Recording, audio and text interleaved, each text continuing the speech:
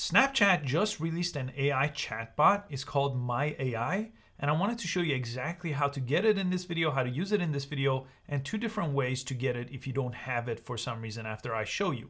And this option used to only come with Snapchat Plus, which is a paid subscription, but now it's available to every single person with a free Snapchat account. So the first thing I recommend you do is go ahead and open up the App Store or the Google Play Store look for Snapchat and press update because you need the latest version of Snapchat so you could get Snapchat My AI chatbot.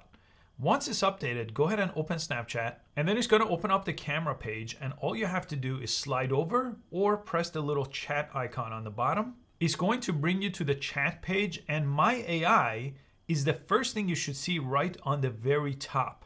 If you don't see it, I'll show you what to do in a second. But to access it, just click on it and then it's going to tell you exactly what it is. You could ask it anything. If you've used things like ChatGPT, for example, it's the same exact kind of a thing. It's a chatbot.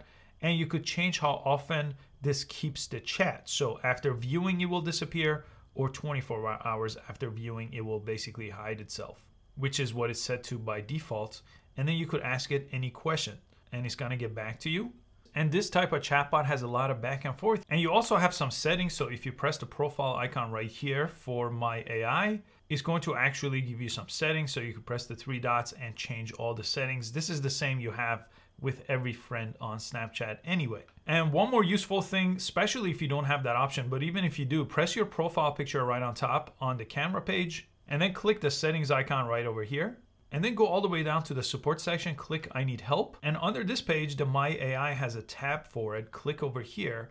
And if you click how do I access it, it's gonna take you to this page and it's gonna tell you how to access it, which is what I showed you, but it says it's rolling out slowly. So that's the one reason it might not be available to you. But if you do have it, this has ton of useful options about how My AI Snapchat chatbot works. So you could read a lot more about some of the things I did not cover in this video, but I hope you found this useful and I'll see you next time.